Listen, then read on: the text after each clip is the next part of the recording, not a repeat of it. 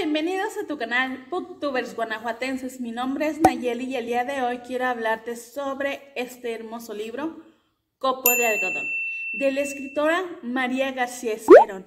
Ella es una escritora mexicana, periodista y guionista de radio y televisión.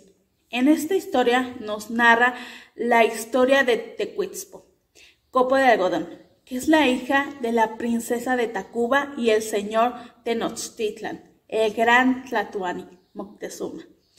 Nos narra cómo desde muy pequeña ella al nacer le robó el corazón a su padre, que era la única hija que podía mirar a los ojos a esa gran autoridad. Bueno, pues también nos narra cómo van pasando muchos hechos que van dejando huella en su corazón, en su vida, que ella nos empieza a plasmar en este gran libro. María García Esperón nos narra la historia en primera persona, que es donde Copo de Algodón nos va narrando todos esos hechos que dejaron marcada su vida. Muy pequeña, ella eh, había sido pedida por Cuitláhuac y se casa con su tío Cuitláhuac. Nos narra ese suceso de la historia cuando ella se va a entregar a él, a, la iglesia o al, al templo, la sensación que empieza a tener al momento de tocar la casa, el templo, y ver ahí parado a Huitláhuac.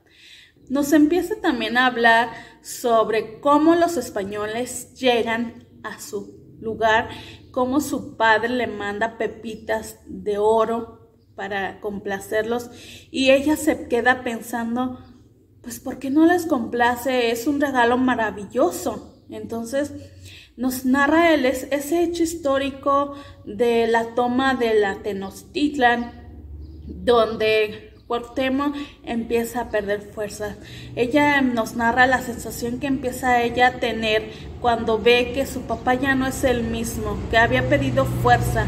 Nos narra ese hecho donde los mismos pobladores empiezan a pedrear al gran Moctezuma. Bueno, pues es un libro que nos narra la historia desde un punto de vista que pues no conocíamos. Yo te invito a leer este gran libro que no te puedes perder, así que danos like y síguenos.